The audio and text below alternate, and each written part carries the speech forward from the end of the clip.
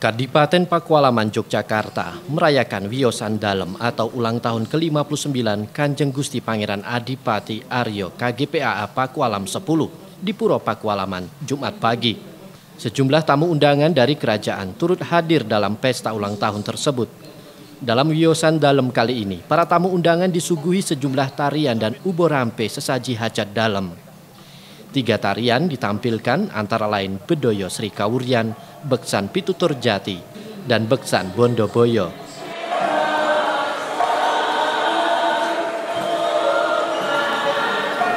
Panitia Wiyosan Dalem KRT Radio Wisroyo mengatakan, di hari ulang tahun ke-59 ini, KGPA Pakualam ke-10 ingin memberikan pesan kepada masyarakat melalui beksan atau tarian dalam menghadapi kondisi bangsa saat ini dengan memberikan petuah Jawa seperti Ojo Dumeh. prasojo, dan waspodo.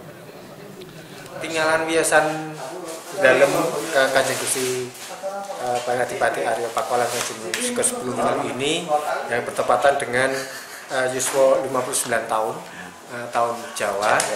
Uh, ini, kegiatannya ada sebenarnya kegiatan setiap tahun dilakukan uh, untuk menganyu bagio uh, kelahiran uh, dalam hitungan Jawa. Namun pada tahun ini eh, yang spesifik adalah bahwa beliau sebagai eh, pengemban kebudayaan ingin mengingatkan kembali kepada masyarakat bahwa eh, nilai-nilai eh, budaya, bentuk-bentuk budaya itu bisa disampaikan dalam bentuk apa pun dan eh, juga dalam hal ini eh, beliau ingin memberikan pitutur uh, kepada masyarakat. Pitutur adalah uh, uh, semacam petuah, ya, petuah sesuai dengan kondisi masyarakat saat ini. Dalam tinggalan Wiyosan dalam tersebut, KGPAA Pakualam ke-10 juga memberikan 19 gelar bagi abdi dalam Puro Pakualaman berupa kenaikan pangkat dan penganugerahan gelar pangkat kepada masyarakat. Satu yang menjadi perhatian banyak tamu undangan dalam acara Wiyosan dalam Pakualam ke-10 adalah penampilan tari atau beksan pitutur jati. Tarian yang hanya dipentaskan secara khusus untuk acara tertentu di Puro Pakualaman. Beksan pitutur jati ini diciptakan pada masa Pakualam ke-9. Dibawakan oleh tujuh penari yang dinilai memiliki sifat sebagai begawan atau sosok orang pintar.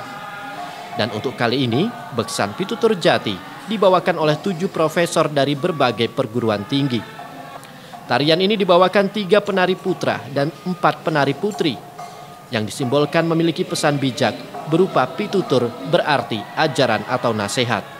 Sementara pitutur jati dimaknai sebagai ajaran tentang kesungguhan hati, sikap, dan perilaku. Ya untuk uh, tinggalan dalam seperti ulang tahunnya Raja Puro Pakualaman gitu. Jadi tertentu tidak setiap saat. Hmm. Artinya memang khusus gitu ya? Khusus khusus karena ini memang hasil rekonstruksi Prof. Ermin itu. Perasaannya seperti apa Prof. Menari? Perasaannya seperti menyatu seperti bagaimana kita merenungkan sesuatu uh, apa ajaran-ajaran yang namanya pitutur itu kan itu? Kan penting sekarang kan orang jarang dengar pitutur gitu jadi maunya dengar hatinya sendiri.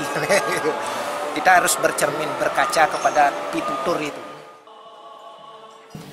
Haryat Maja Jogja TV.